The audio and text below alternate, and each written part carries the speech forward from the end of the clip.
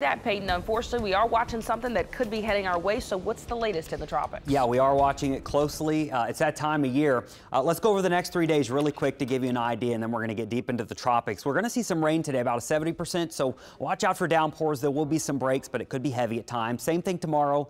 And then on Saturday, we'll have about a 50% chance of storms. So, over the next three days, we don't really have anything to worry about in the tropics, just some heavy rain around at times. Now, as we go into Sunday, maybe a completely different story. There's our three areas we're watching. We're not concerned with those. We're watching Invest 99, really organized overnight, and this will likely become a depression pretty soon uh, today as we go throughout today. They may just be waiting for the hurricane hunters to get in there this afternoon to designate it depression. There it is, south of Jamaica by about 200 miles. It's going to be moving northwest. Notice up towards the Yucatan uh, Channel here or towards the western tip of Cuba by Friday, and then into the Gulf of Mexico by Saturday. No changes there, and then perhaps getting close to the northern northern Gulf by Sunday. So this is going to be on someone's doorstep by the end of the weekend. So if you are doing any preparations or going over your hurricane plan, you need to be doing it today, tomorrow, and Saturday because by Sunday you're going to be running out of time to really uh, do anything. So be thinking about your evacuation plans and things like that should you need to use it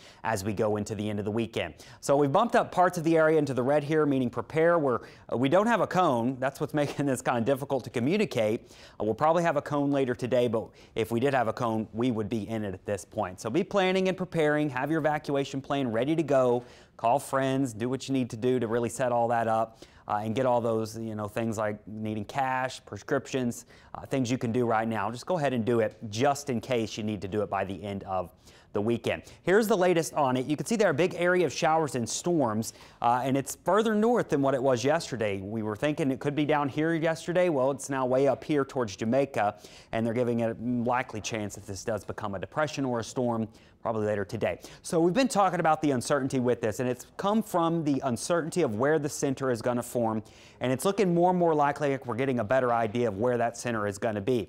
Initially, we're thinking, okay, it could either form this on the, on the far southern end, or we could have a center on the more northern end. The one that looks more likely at this point is this one on the more northern side or the central here. So right in here.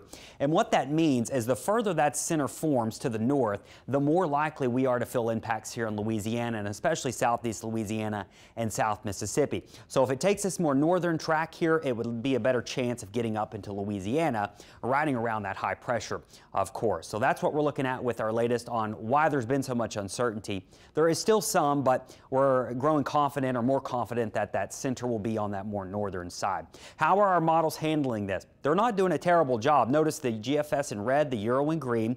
That's where they think the center of circulation is coming together, and that's pretty close. I've got satellite thrown on here, and we think the center is developing somewhere right in there. So the models are doing good right now.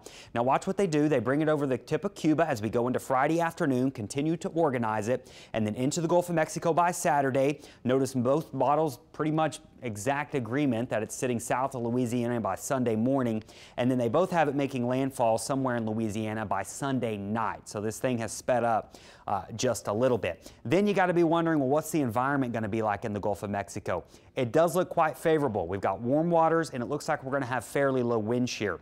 It does have some wind shear right now thanks to this upper level low spinning over Florida. That's giving us some southwest wind shear, but that upper level low is going to be backing to the west and weakening, and then that high pressure is what's going to take over and steer it. So overall, uh, it does look very likely that we get a name storm out of this. The next name is Ida, and it looks like a pretty good bet that this becomes a hurricane and could be a strong hurricane at that. So not trying to scare you, but this is going to be on someone's back door by Sunday more than likely, Sunday night, and you got to use the next couple of days to make sure you are prepared just in case uh, we need to put things in action here southeast Louisiana. There are still a lot of unknowns, but something we got to follow closely over the coming days. So we'll be watching that, be checking in frequently multiple times a day as we go into the weekend.